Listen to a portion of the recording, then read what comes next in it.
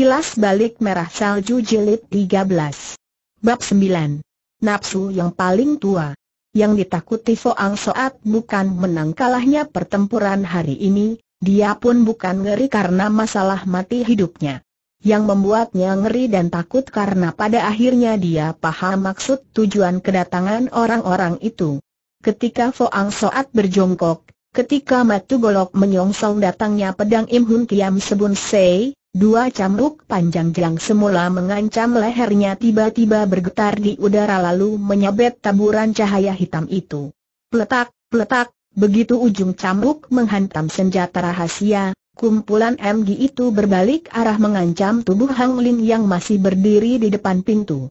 Ho Abu Antian dan Hun Chai Tian yang selama ini berdiri tenang di sisi Arna pun saat itu bersama-sama mencabut pedangnya, lalu diiringi desingan angin tajam mereka langsung mengancam Hang Ling. Ujung cambuk berputar di udara sekali lagi memperdengarkan suara nyaring, lalu bagai ular berbisa yang mematuk mangsa langsung membelit sepasang tangan Hang Ling. Biarpun Hang Ling terperanjat, ia tak kalut, tubuhnya berputar cepat menghindari datangnya sambitan senjata rahasia. Tapi baru saja ia memutar badan, sepasang pedang Hoa Bo Antian dan Hun Chai Tian sudah menusuk tiba. Sepasang lengan Hang Ling telah bertambah dengan dua mulut luka memanjang belum lagi darah segar mengucur, kedua batang cambuk panjang itu sudah melilit sepasang lengan Hang Ling dengan kuatnya. Sementara itu bacokan golok Foang Soat telah menghajar telak tulang kening sebonsei. Dia sama sekali tidak memberi kesempatan kepada dirinya untuk berganti napas, mengikuti gerakan tubuhnya yang menjorok ke depan, metu goloknya segera membentuk gerakan setengah lingkaran busur, lalu menghajar pedang Hun Chai Tian. Belum lagi goloknya tiba, hawa serangan telah menghimpit tubuh lawan. Dalam keadaan begini, Hun Chai Tian tak berani mengurusi Hang Ling lagi, segera dia tarik kembali pedangnya untuk menangkis datangnya ancaman. Terang, berbareng terjadinya benturan, lagi-lagi pelajar sopan itu mengayun tangan berulang kali, senjata rahasia segera meluncur ke udara. Semua MG itu bukan tertuju ke tubuh Foang Soat yang masih di tengah udara, melainkan diarahkan ke bawah kakinya, asal dia meluncur turun, niscaya badannya akan terhajar. Tiba-tiba Foang Soat melakukan gerakan aneh, dia melepaskan bacokan dengan gerakan aneh, yang dibacok bukan orang melainkan dahan yang tumbuh di tengah halaman. Dengan tertancapnya matu golok di atas dahan, Foang Soat pun menggunakan kekuatan tertahan itu untuk melejit kembali di udara, lalu secepat kilat menyambar tubuh Ting Teng Heng Te. Hang Ling yang sepasang tangannya terlilit cambuk berusaha melepaskan diri, siapa sangka semakin dah meronta, lilitan itu semakin mengencang, bukan saja gagal melepaskan diri, guratan berdarah malah muncul di kedua lengannya. Di pihak lain, Foang Soat yang sedang meluncur ke arah Ting Teng Heng Te mendadak melihat tubuhnya sudah dihadang seseorang, ternyata orang itu adalah pemuda terpelajar itu. Tampak ia mengayunkan sepasang tangan berulang kali, pukulan demi pukulan ditujukan ke tubuh Foang Soat yang masih melambung di udara. Karena sekali lagi terhadang, mau tak mau Foang Soat harus membuyarkan seluruh kekuatan yang dimilikinya, lalu merosot ke bawah, menghindari ancaman serangan pemuda pelajar itu. Karena ada hadangan ini, Ting Teng Heng Te segera memanfaatkan kesempatan itu untuk menarik tubuh Hang Ling ke atap rumah, Lalu dalam beberapa kali lompatan mereka sudah meluncur ke arah hutan. Sadar tiada harapan untuk menyelamatkan perempuan itu, sikap Foang Soat malah jauh lebih tenang, ditatapnya ketiga orang yang masih tersisa dengan pandangan dingin. Ho Abu Antian dan Hun Chai Tian menarik kembali pedangnya dan memandang Foang Soat dengan senyum di kulum, sementara pemuda terpelajar itu pun masih tetap berdiri tenang. Sesaat kemudian tampak Hoa Bu Antian berjalan menghampiri pemuda itu, lalu kepada Foang Soat katanya, Fo Heng, lantaran tadi didesak oleh waktu, maka aku lupa memperkenalkan nama Kong Chu ini kepadamu. Lembut, sangat lembut, lambat, sangat lambat, perlahan Foang Soat bergumam, bernama Unji Jiok. Dia. Hoa Bu Antian agak tertegun, tapi segera serunya sambil tertawa tergelak, Sungguh tak kusangka pengetahuan Fo Heng begitu luas, sampai Un Kong Chu yang sudah sekian lama tak pernah terjun ke dalam dunia persilatan pun kau ketahui dengan jelas, Fo Ang Soat tertawa dingin. Jadi kedatangan kalian hari ini hanya bertujuan membawanya pergi benar, apakah kalian bermusuhan dengannya? Tidak, Hoa Bo Antian menggeleng kepala, saya melopan khawatir kehadirannya malah mengganggu ketenangan hidup Fo Heng, maka beliau sengaja mengutus kami membawanya pergi, agar Fo Heng dapat menikmati hidup dengan tenang, keliru besar ucapan Fo Ang Soat yang mendadak dan membingungkan ini kontan membuat semua orang tertegun, termasuk Un Ji Giok pun ikut menarik senyumannya. Keliru? Apanya yang keliru? Kau bilang Sam Lopan telah salah mengartikan niat baiknya? Fo Ang Soat tak langsung menjawab, Perlahan dia mengalihkan sorot matanya ke wajah Unji Giok, kemudian baru ujarnya, kau keliru, aku keliru Unji Giok tertegun, letak kesalahanku. Di mana? Kau sangka sewaktu sepasang tanganmu bersilang di udara, aku tak berhasil melihat titik kelemahanmu atau kasangka biarpun tahu pun aku tak akan mampu menjebolnya tentu Unji Giok mengetahui letak kelemahan jurus serangannya, namun dia pun tahu baik Foang Soat atau siapa pun tak mungkin mampu melancarkan serangan mematikan setelah mengetahui titik kelemahan itu, maka terhadap ucapan Foang Soat dia hanya tertawa hambar. Belum selesai ia tersenyum, sekonyong-konyong terlihat cahaya golok berkelebat, kemudian terdengarlah jeritan ngeri yang memilukan. Rupanya secara tiba-tiba Foang Soat mencabut golok, lalu membacok dari sudut yang sangat aneh, yang dibabat bukan Unji Giok melainnya Hun Chai Tian yang berada di sisi lain. Menanti jerit kesakitan Hun Chai Tian bergema, Foang Soat telah menyarungkan kembali goloknya. Paras muka Unji Giok seketika berubah hebat, berubah jadi putih pucat bagai bunga salju. Foang Soat memandang dingin Unji Giok sambil menegur, bukankah kau keliru cahaya golok yang barusan berkilat, ayunan golok yang barusan membacok, Meski Hun Chai Tian yang menjadi sasaran, namun Un Ji Giok dapat melihat gerakan yang digunakan tak lain adalah satu-satunya gerakan yang bisa menjebol titik kelemahan jurus serangannya tadi. Ya, aku salah, akhirnya Un Ji Giok mengakui. Tadi aku tak menggunakan jurus itu bukan lantaran aku tak bisa atau tak mendapat waktu, perlahan Fo Ang Soat berkata lagi, aku tak menggunakan sebab saatnya tidak tepat, Bila aku nekat melakukannya juga, justru yang aku khawatirkan adalah kegugupan Ting Teng Heng Te bisa berakibat terbunuhnya Hang Ling. Dalam pada itu peluh dingin telah membasahi tubuh Un Ji Giok, untuk sesaat dia tak mampu mengucapkan sepatah kata pun. Tiba-tiba Hoa Bo Antian melangkah maju ke depan, teriaknya, sekalipun kau tidak menggunakan jurus serangan itu, Hang Ling tetap sudah terjatuh ke tangan kami, Jawaban Fo Ang Soat sama sekali tidak ditujukan kepada Hoa Bo Antian, melainkan kepada Aun Ji Giok.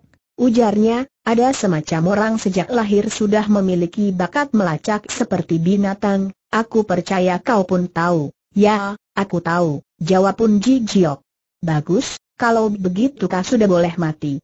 Ketika matu golok mulai membelah angkasa, tubuh Unji Giok telah melayang ke atas atap rumah, Ginkang yang dimilikinya memang terhitung kelas satu dalam Kangou, tapi sayang yang dijumpainya justru Foang Soat. Baru saja ujung kakinya menempel atap rumah dan bersiap meminjam tenaga untuk melejit ke arah lain, ia sudah mendengar suara desiran angin golok yang amat tajam, kemudian terasa sepasang kakinya dingin sekali. Menanti ia berhasil bersalto di udara dan meluncur ke arah lain, Secara kebetulan ia saksikan sepasang kaki sendiri masih tertinggal di atap rumah. Belum pernah Hoa Bo Antian menyaksikan ilmu golok seaneh itu, dia hanya melihat cahaya golok berkilat, sebuah kebasan dari Foang Soat yang dilakukan begitu ringan dan sederhana, namun tahu-tahu sepasang kaki Unji Giok yang sudah sempat kabur sejauh enam tujuh dipa tertabas kutung dan ketinggalan di atas atap. Hoa Bo Antian ingin kabur, Apalacur sepasang kakinya sudah tak mau menuruti perkataannya lagi, bahkan ia sempat mendengar gigi sendiri sedang gemerutukan karena gemetar. Perlahan-lahan Foang Soat membalikan badan, menatap wajah Hoa Bo Antian dengan sinar tajam. Hari ini aku tak akan membunuhmu, katanya ketus, tapi kau harus membawa pesanku, P. Pesan apa beritahu Semopan, peduli siapa pun dia, aku pasti akan pergi mencarinya, jadi lebih baik suruh dia menemuiku dengan wajah aslinya, aku, pasti akan ku sampaikan, di antara binatang buas, serigala termasuk binatang yang paling pintar melacak, serigala pula yang paling pandai menghindari pelacakan. Kalau Foang Soat diibaratkan serigala, maka tak disangka Ting Teng Heng Tit terhitung serigala juga. Tak ada jejak, tak ada petunjuk, tak ada saksi mata. Sementara itu langit bertambah gelap, dari balik remangnya cuaca terlihat bintang mulai bertaburan di angkasa. Foang Soat tidak berhasil menemukan Hong Ling, dia pun gagal menemukan Ting Teng Heng Te, sudah seharian melakukan pengejaran, jangankan bersantap, minum seteguk air pun belum. Seluruh bibirnya telah mengering, sol sepatunya sudah robek terantuk batu tajam, betisnya pun terasa lindu dan amat sakit.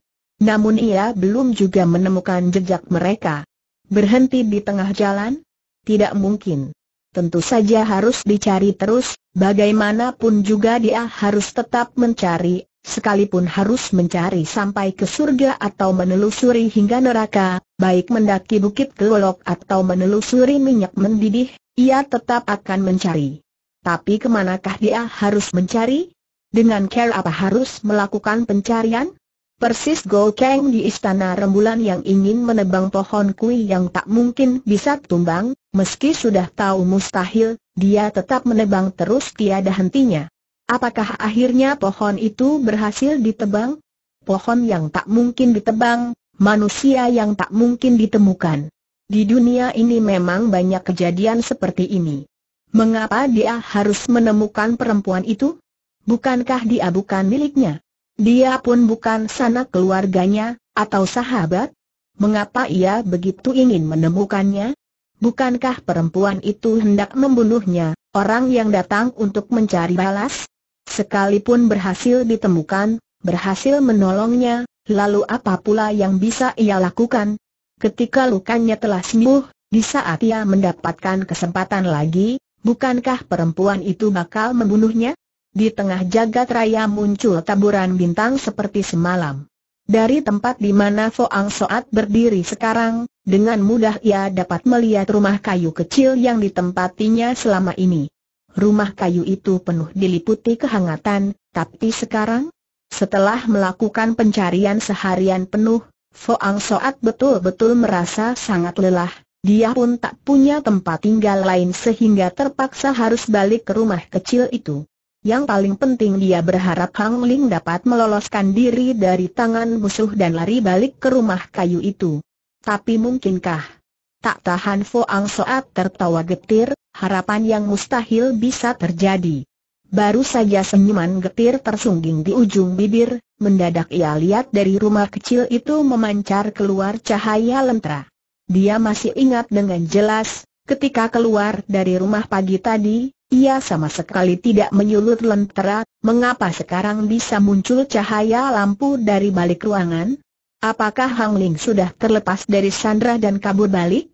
Foang Soat menggunakan kecepatan paling tinggi menerobos ke sana, ketika tiba di depan rumah, ia sudah mendengar bergemanya suara dari balik ruangan.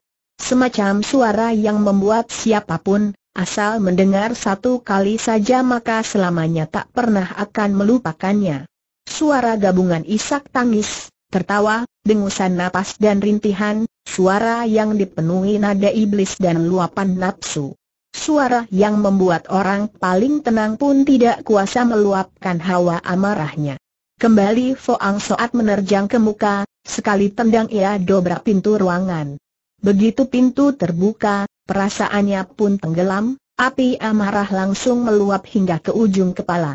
Ternyata rumah kayu yang sederhana itu telah berubah menjadi neraka. Neraka dunia. Hang Ling sedang tersiksa dan menderita dalam neraka dunia.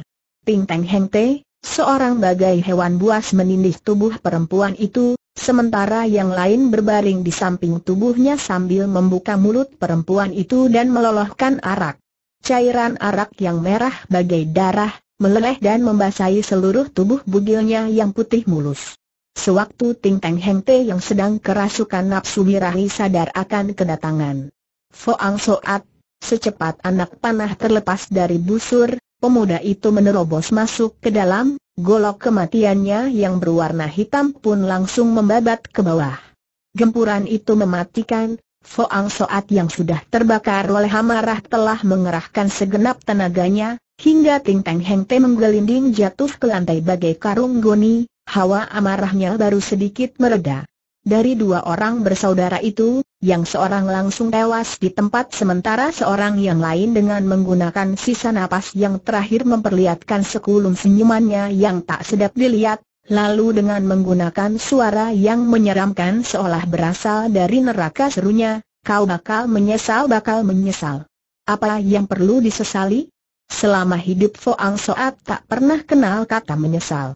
Dengan sekuat tenaga ia lempar mayat Ting Teng Heng Te keluar ruangan, lalu dengan sekuat tenaga menutup pintu.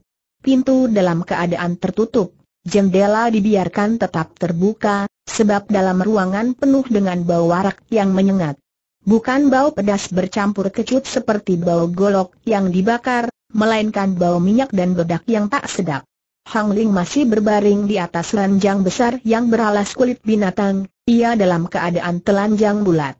Seluruh pakaiannya telah dilucuti, dari atas hingga ke bawah, tubuhnya benar-benar 100% bugil. Sepasang matanya membalik ke atas, mulutnya mengeluarkan buih putih, seluruh ototnya tiada hentinya mengejang dan gemetar, bahkan setiap inci kulitnya pun tampak gemetar tiada hentinya. Dia bukan Cui Long, bukan kekasih Foang Soat, dia pun bukan temannya, ia datang untuk menuntut balas kepadanya. Namun setelah menyaksikan keadaannya, perasaan Foang Soat tetap sakit bagai ditusuk jarum. Dalam waktu sekejap dia seolah lupa bahwa dia adalah seorang wanita, lupa kalau ia berada dalam keadaan bugil. Dalam pikiran dan ingatan Foang Soat dia adalah seorang perempuan yang patut dikasihani, seorang wanita yang telah disiksa dan didera oleh ketidakadilan. Sebasko air, selembar handuk. Foang Soat menggunakan handuk yang dibasahi air hangat menyeka wajahnya, menyeka dobi putih yang menodai bibirnya, lalu menyeka air mata di ujung kelopak matanya. Pada saat itulah dari tenggorokannya menggema suara rintihan aneh yang membetot Sukma, tubuhnya mulai menggeliat, pinggangnya yang ramping mulai meliuk-liuk bagai seekor ular, pahanya yang putih mulus pun mulai bergeser ke kiri kanan. Tidak banyak lelaki yang bisa bertahan menghadapi rangsangan nafsu seperti ini, untung Foang Soat termasuk salah satu di antara mereka yang tak gampang terangsang. Dia berusaha sedapat mungkin tidak memandang tubuhnya yang bugil, dia ingin mencari sesuatu benda untuk menutupi bagian tubuhnya yang paling vital. Tetapi sebelum ia menemukan sesuatu, mendadak Hang Ling menangkap tangannya, kemudian memeluk tubuh Foang Soat erat-erat. Pelukannya begitu kencang dan kuat, seperti seorang kalap di air yang sekuat tenaga memeluk sebatang batok kayu. Foang Soat tak tega mendorong tubuhnya, namun dia pun tak bisa membiarkan badannya dipeluk terus. Beberapa kali dia ingin mendorong, tapi dengan cepat tangannya ditarik kembali. Bila kau dapat mendorong seorang wanita dalam keadaan seperti ini, maka kau pasti akan tahu mengapa dia menarik kembali tangannya. Sebab biarpun bagian tubuh wanita yang tak berboleh tersentuh oleh kaum lelaki tak banyak jumlahnya, namun berada dalam situasi seperti ini, bagian tubuh itu juga yang akan kau dorong. Tubuh Hang Ling panas bagaikan air mendidih, detak jantungnya pun cepat sekali. Dengus napasnya juga tercium bau arak yang sangat kental, bau itu terus-menerus terhembus keluar dari mulutnya dan masuk ke dalam pernapasan Foang Soat. Tiba-tiba saja pemuda itu jadi paham, dia tahu sekarang apa sebabnya Ting Teng Heng Te yang berjiwa bagai binatang itu menggunakan arak untuk melolohnya. Rupanya arak itu telah dicampur obat perangsang. Sayangnya di saat dia mulai mengerti akan hal ini, dia sendiri pun ikut terpengaruh oleh obat itu. Tiba-tiba saja ia menjumpai bagian tubuh tertentunya mengalami perubahan yang sulit lagi untuk dikendalikan. Semua pikiran dan kesadarannya telah berantakan. Sementara itu Hang Ling telah menindih badannya menggunakan tubuhnya yang bugil, gadis itu mulai merangsangnya, menggunakan tubuhnya yang telanjang menggiring dia melakukan perbuatan dosa. Perbuatan dosa yang paling kuno, perbuatan dosa yang paling purba. Arak bercampur obat perangsang telah membangkitkan nafsu birahi mereka berdua, nafsu birahi paling kuno yang tak mungkin bisa dilawan siapa pun. Semenjak ada manusia, nafsu birahi pun mulai menguasai jagat. Menciptakan kesalahan memang banyak penyebabnya, nafsu birahi hanya salah satu di antaranya. Kini kesalahan telah dilakukan, nasi sudah jadi bubur, tidak mungkin semuanya bisa diubah lagi. Seorang biasa, jika dalam keadaan yang tak bisa dilawan telah melakukan sebuah kesalahan, kesalahan semacam ini dapatkah disebut sebagai sebuah kesalahan fatal? Mungkinkah kesalahan seperti ini dapat dimaafkan? Kesalahan telah dibuat, gejolak hati telah tenang, nafsu birahi pun telah mencapai puncaknya, kini malam yang gelap pun sudah mendekati akhir. Saat itu merupakan saat yang paling gelap sepanjang hari. Saat itu pula merupakan saat pertarungan antara kepedihan dan rasa gembira. Saat itu juga merupakan detik tumbuhnya rasa penyesalan. Saat itu Foang Soat telah sadar. Lelehan lilin telah mengering, lampu pun telah padam, dari balik kertas jendela yang buram lamat-lamat muncullah cahaya putih yang terang. Putih pucat, sepucat wajah Foang Soat, sepucat perasaannya. Hang Ling adalah seorang wanita, wanita yang datang mencari balas. Meskipun selama beberapa hari mereka pernah hidup bersama, namun tujuan perempuan itu hanya menanti saat yang tepat untuk membunuhnya. Tapi kini dia berada di sisinya, berbaring di samping tubuhnya. Ia dapat merasakan detak jantungnya, kehangatan badannya serta dengus napasnya, di samping ketenangan, kelembutan dan kepuasan setelah dipermainkan rangsangan birahi. Semacam ketenangan dan kegembiraan yang membuat seorang lelaki tak segan mengorbankan segalanya demi menggapainya. Kini Foang Soat hanya berharap bisa memusnahkan semuanya itu. Kini baru dia paham maksud ucapan Ting Teng Heng Te menjelang ajalnya. Kau bakal menyesal, menyesal. Apakah dia menyesal? Mungkinkah ia dapat memusnahkan semua peristiwa yang baru saja berlangsung? Tidak mungkin. Dia tak mungkin bisa. Dialah yang telah menciptakan semua ini, tak mungkin lagi baginya untuk menghindar, tak mungkin pula untuk dilawan. Karena dia yang menciptakan, dia juga yang harus menanggung akibatnya. Terlepas akibat macam apa yang bakal menimpanya. Jagat raya terasa dingin, kabut pagi pun dingin sekali. Sepasang tangan Foang Soat telah kaku lantaran dingin, hatinya ikut dingin, sedingin metu golok. Kejadian telah berlangsung, suatu kesalahan yang selamanya tak mungkin bisa dihindari. Bila kau menjadi Foang Soat, apa yang akan kau lakukan? Menghindar. Setiap orang ada saatnya berusaha menghindar dari orang lain, tapi tak seorang pun yang bisa menghindari diri sendiri, selamanya. Foang Soat pun tak sanggup.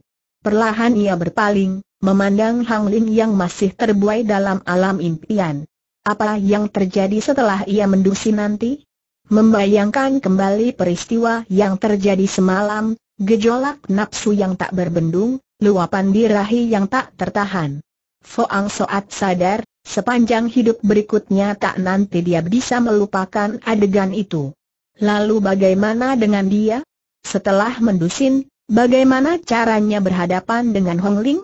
Dua orang yang sama sekali tak berakar, tiba-tiba melakukan hubungan yang tak akan terlupakan. Setelah kejadian ini, apakah mereka berdua harus bersatu terus? Atau lebih baik mengambil jalan sendiri-sendiri? Membiarkan kedua belah pihak sama-sama menerima penderitaan dan penyesalan karena kesalahan yang telah dilakukannya? Pertanyaan yang pelik, siapa yang sanggup menjawabnya? Siapa pula yang tahu, tindakan apa yang seharusnya dilakukan?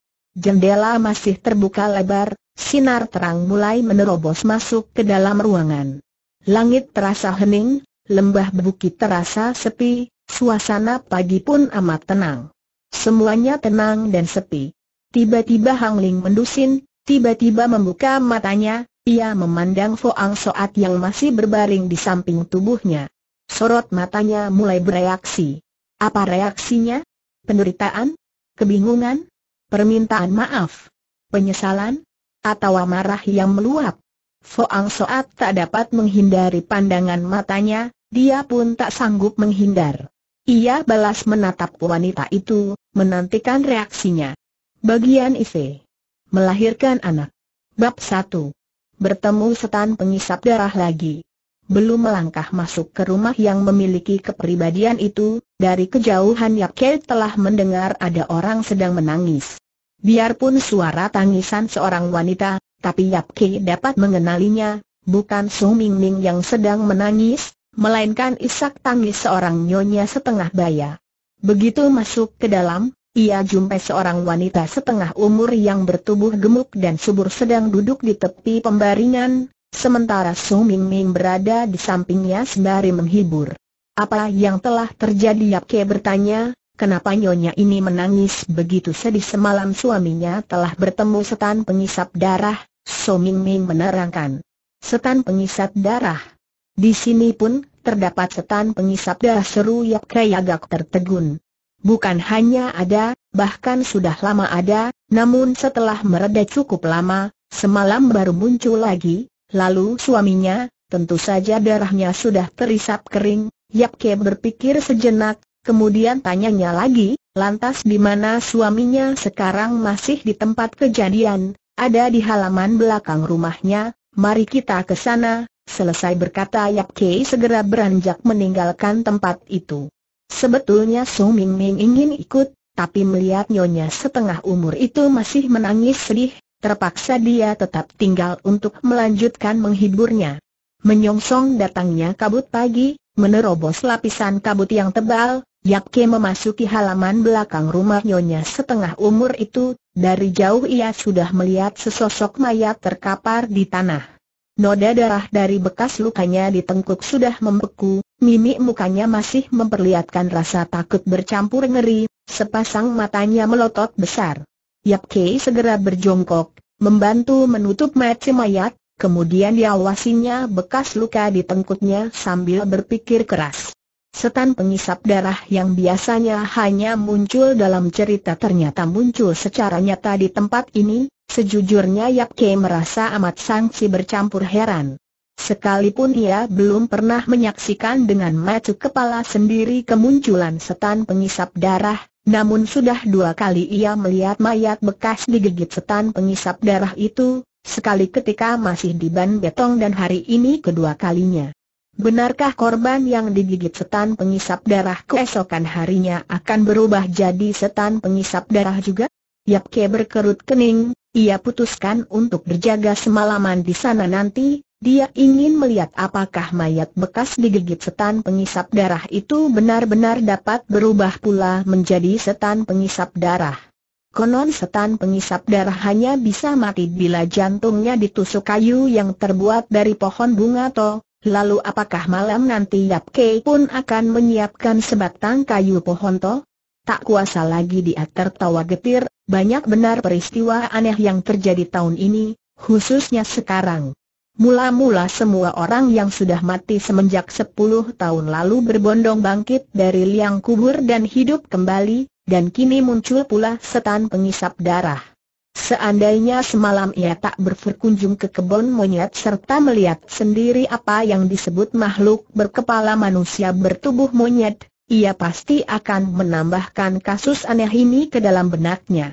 Perlahan Yap Ke bangkit, pikirannya melayang, tinggalkan kota Lasa dan kembali ke Ban Betong, entah bagaimana keadaan Foang Soat kini. Yap Ke benar-benar khawatir rekannya itu mengumbar watak dengan melakukan tindakan bodoh yang justru merugikan dirinya.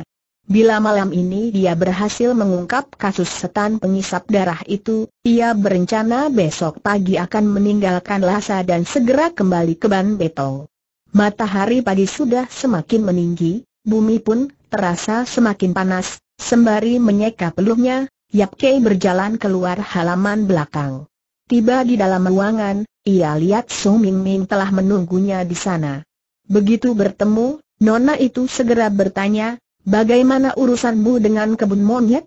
Ke mana kau pergi sehari semalam aku melihat monyet berkepala manusia, Yap Ke menerangkan. Jadi benar. Benar-benar terdapat monyet jenis begitu seru Sung Ming Ming sambil membelalakan mata. Yap Ke tertawa tergelak.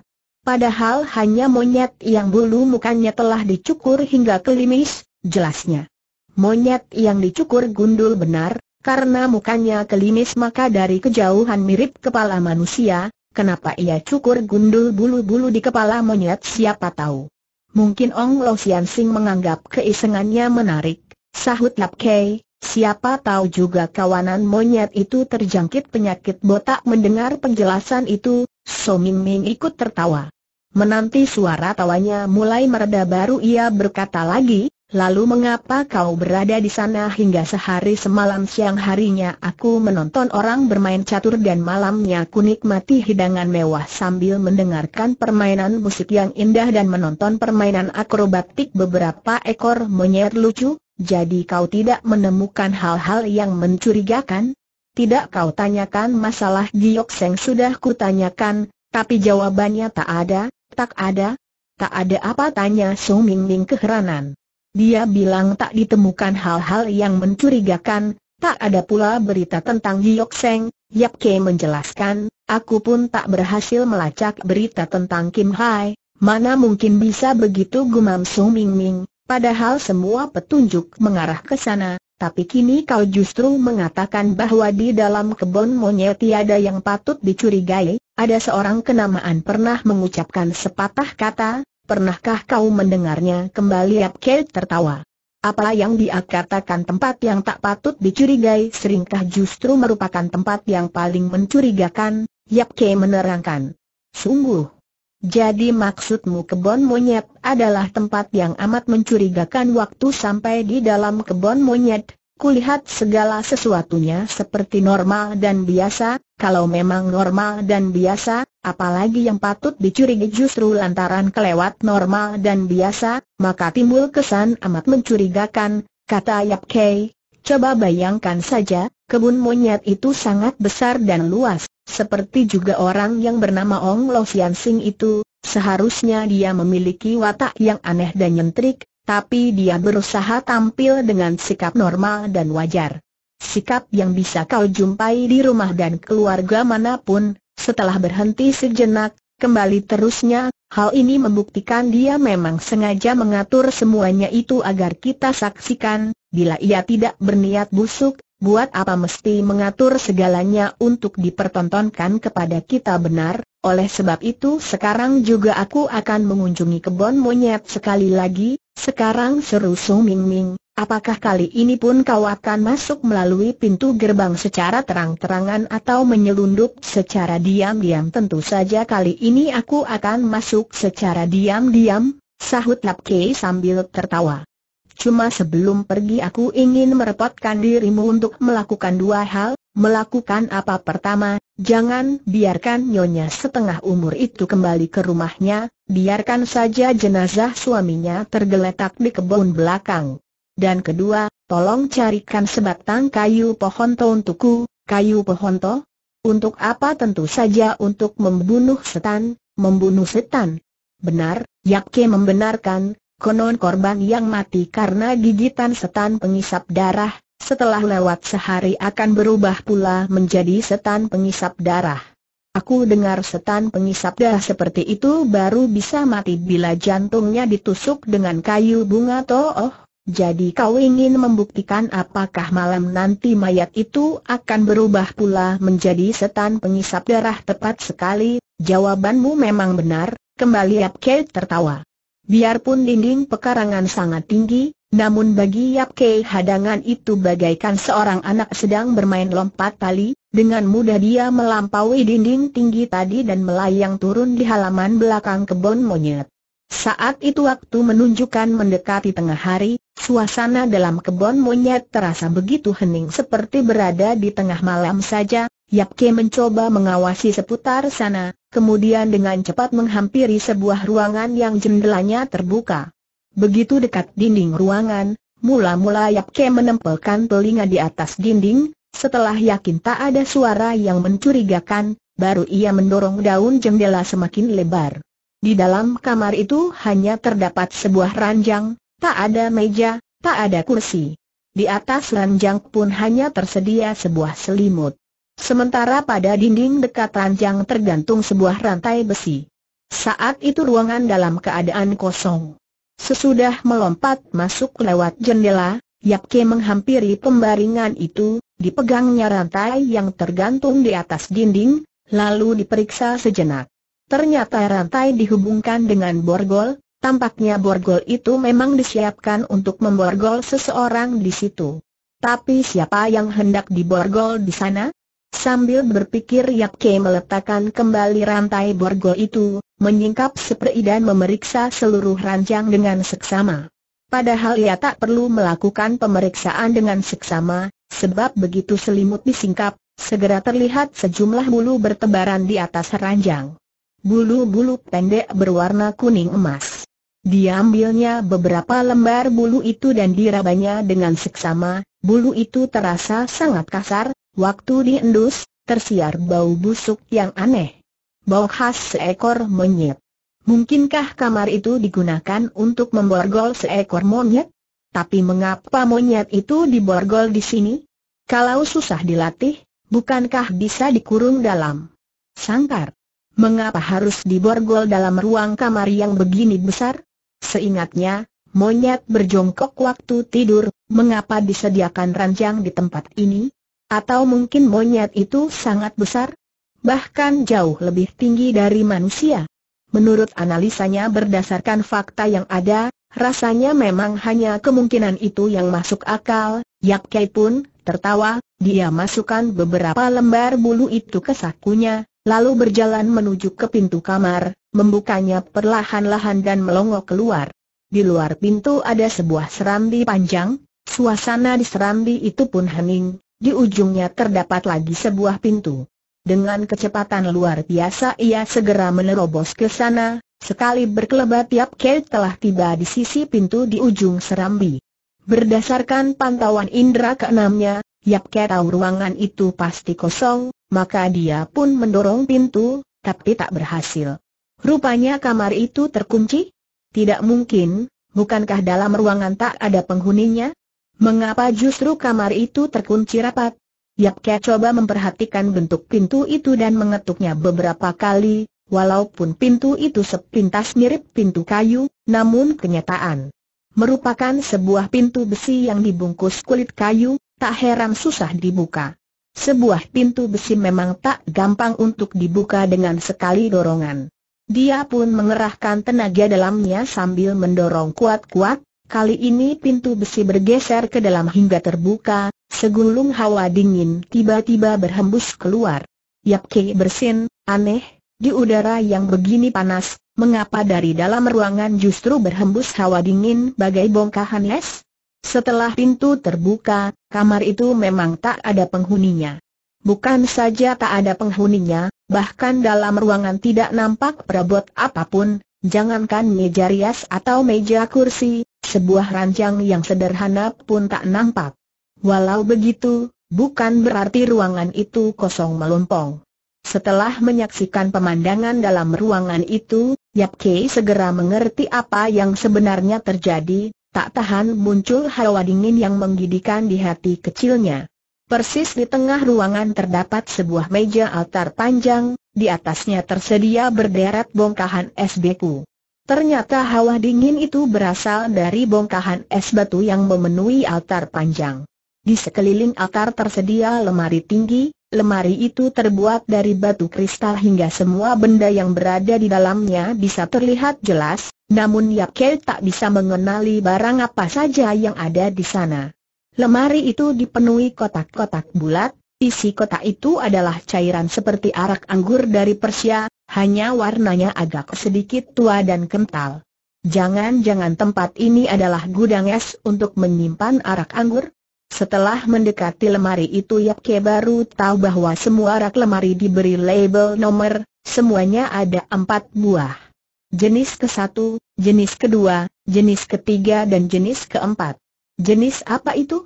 Masa arak pun mempunyai jenis? Sampai hari ini Yapke belum pernah mendengar hal semacam ini, dibukanya lemari sebelah kanan dan diambilnya sebuah kotak, lalu dibuka penutupnya. Tapi begitu diendus baunya, kontan keningnya berkerut kencang. Darah, bau darah. Ternyata isi kotak-kotak bulat itu adalah darah. Darah sesegar bunga mawar. Ternyata kotak bulat yang berada dalam lemari kristal berisikan darah, lalu apa gunanya begitu banyak darah tersimpan di sana?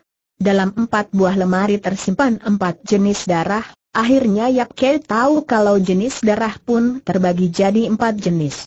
Sekarang baru, dia teringat perkataan gurunya bahwa darah yang mengalir dalam tubuh manusia secara garis besar terbagi dalam empat jenis darah yang berbeda. Tak mungkin jenis darah yang berbeda dicampur aduk menjadi satu, artinya orang yang mempunyai darah jenis ke satu hanya bisa ditransfusi dengan darah dari jenis ke satu.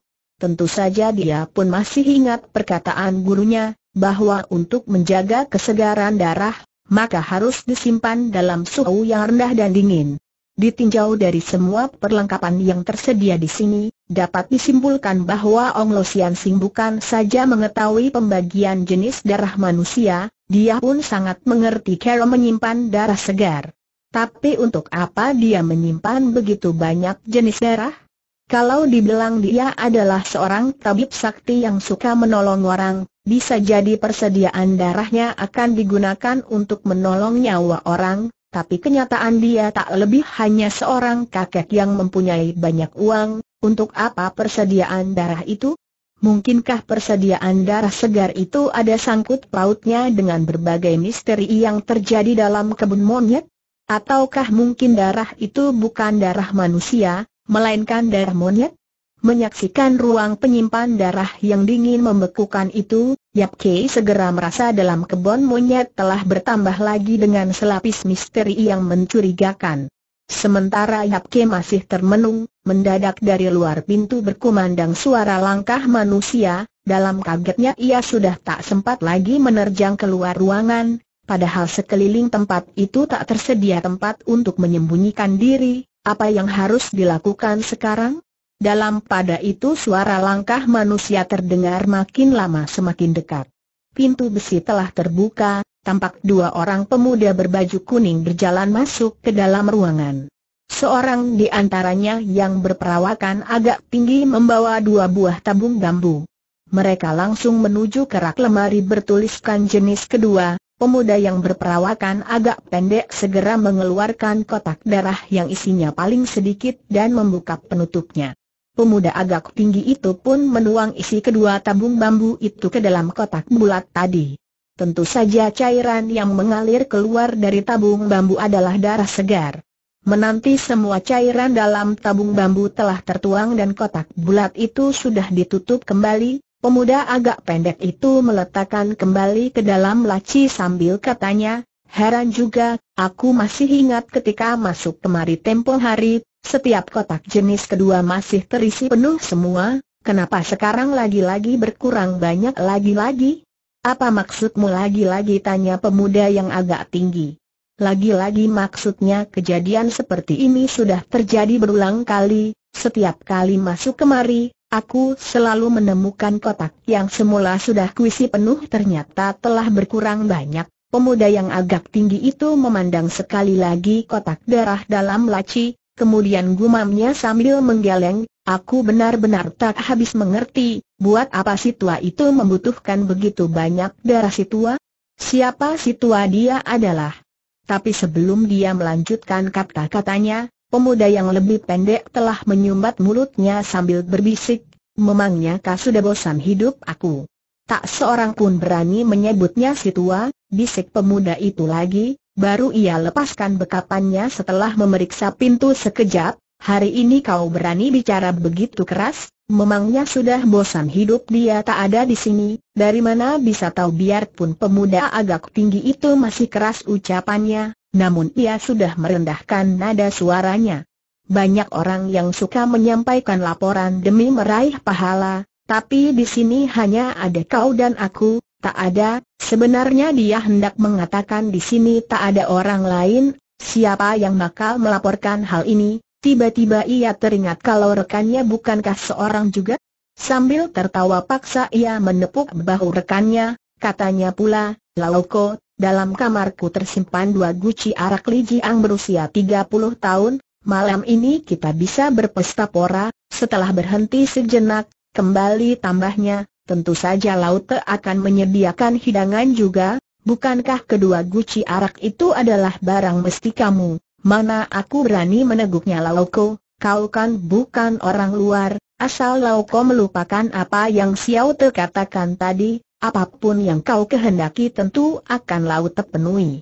Tahu rahasia tapi tidak melapor, dosanya bisa berlipat ganda, kata pemuda agak pendek berlagak jual mahal.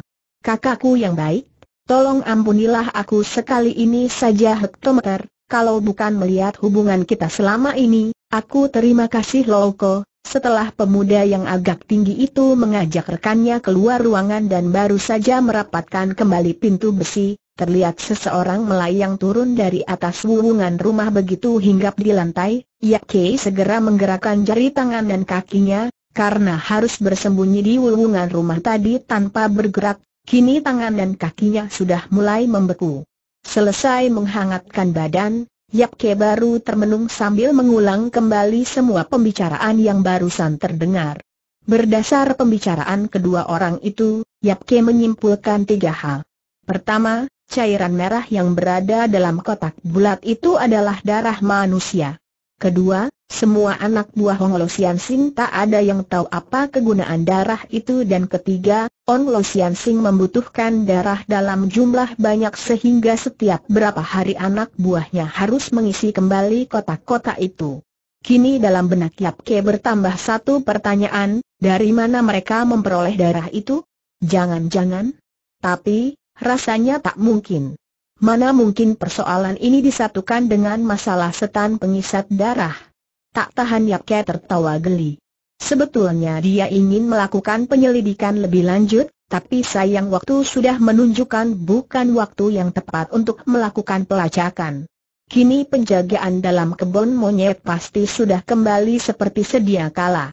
Berarti dia harus segera mengundurkan diri dari situ dan selesai menyelidiki kasus setan pengisap darah malam nanti, besok dia akan menyatroni kebun monyet lagi. Taburan bintang semalam belum lagi muncul, sinar senja hari ini telah tenggelam di langit barat. Yap Kei segera mencari sebuah tempat yang strategis dan mulai menyembunyikan diri. Di halaman belakang rumah nyonya setengah umur itu terdapat sebuah sumur, tepat di depan sumur berdiri sebuah pohon tua yang amat besar. Pohon itu sangat besar dan berdaun lebat, di situlah Yap Kei menyembunyikan diri, sebab dari atas pohon bukan saja ia dapat melihat jelas. Situasi di sekeliling halaman belakang, bahkan radius seluas tujuh tombak pun tak akan lolos dari pengamatannya. Dengan berbekal dua poci arak dan sejumlah rangsum ia menanti di atas pohon dengan tenang, coba kalau bukan sedang menunggu kasus aneh, menikmati arak di atas pohon pasti sangat mengasyikan. Ketika bintang utara pertama baru muncul di angkasa, Yap Kei telah menghabiskan separuh poci arak dan mengusir sebagian hawa dingin yang merongrong tubuhnya. Posisi mayat masih sama seperti pagi tadi, berbaring di tengah halaman. Di bawah sinar rembulan yang baru muncul, terlihat jelas bekas noda darah pada luka di tengkuk mayat itu telah membeku dan berubah warna jadi kehitam-hitaman. Bila berita angin yang selama ini beredar benar, malam ini mayat itu akan berubah jadi mayat hidup, akan berubah jadi setan pengisap darah. Benarkah setan pengisap darah tak bisa dibunuh dengan senjata apa pun? Benarkah makhluk itu baru terbunuh bila jantungnya ditusuk kayu runcing dari pohon bunga toh? Omong kosong semacam itu biasanya hanya muncul dalam cerita, tapi sekarang telah muncul dalam kehidupannya, Bayangkan saja apa yang dilakukan Yap Kei sekarang. Dia hanya tertawa getir, ya, dia hanya bisa tertawa getir. Bila malam ini mayat itu benar-benar bisa hidup kembali, Yap Kei ingin membuktikan, apa benar setan pengisap darah tak dapat dibunuh dengan senjata lain, Bila mana perlu dia akan menggunakan kayu runcing dari dahan bunga atau untuk menghadapinya. Sekarang kayu runcing bunga atau sudah terselip di pinggangnya. Andai kata teman-temannya mengetahui ulahnya itu, bisa jadi mereka akan tertawa hingga terlepas giginya. Kalau bukan menyaksikan dengan mata kepala sendiri, siapa yang bakal mempercayainya? Bagaimana pula dengan Yapke? Bila ia benar-benar berjumpa setan pengisap darah malam ini, apakah dia akan percaya? Yapke tak tahu, ia tak sanggup menjawab pertanyaan itu. Ada sementara kejadian, walau sudah kasaksikan dengan mata kepala sendiri pun belum tentu akan percaya, apalagi omong kosong yang tak ada kepastian seperti ini.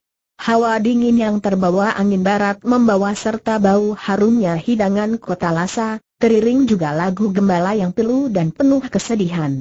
Ketika mendengar lagu yang memilukan itu, tiba-tiba Yap Ke teringat akan seseorang. Bulan tiga di musim semi, kawanan domba berpesta rumputan. Musim salju yang beku, siapa yang akan memberi makan serigala? Hati lembut bagai domba, hati keras bagai serigala. Hati manusia sukar diterka, perasaan manusia beku bagai salju, Xiao Capet Long. Di kolong langit hanya Xiao Capet Long yang paling memahami serigala, dia pula yang menaruh simpatik terhadap serigala. Dia sendiri seolah-olah adalah seekor serigala, seekor serigala yang kesepian, kedinginan dan kelaparan. Berkelana di tanah bersalju, tujuannya tak lain hanya berjuang untuk mempertahankan hidup. Tak seorang pun di dunia ini yang mau mengulurkan tangan membantunya, setiap orang hanya ingin menendangnya, menginjaknya sampai mampus. Manusia di dunia ini hanya tahu kasihan dan simpati kepada domba, Jarang ada yang mengetahui penderitaan dan kesepian yang dirasakan serigala. Yang dilihat umat manusia hanya keganasan serigala ketika menerkam domba, tak pernah menggubris bagaimana menderita serigala ketika kelaparan di tanah. Bersalju, ketika berkelana sendirian di tengah alam yang sepi. Ketika domba lapar, dia makan rumput. Bagaimana kalau serigala sedang lapar? Apakah dia harus mati kelaparan? Yap Kei sangat memahami serigala, oleh sebab itu dia pun sangat memahami Xiao Capet Long.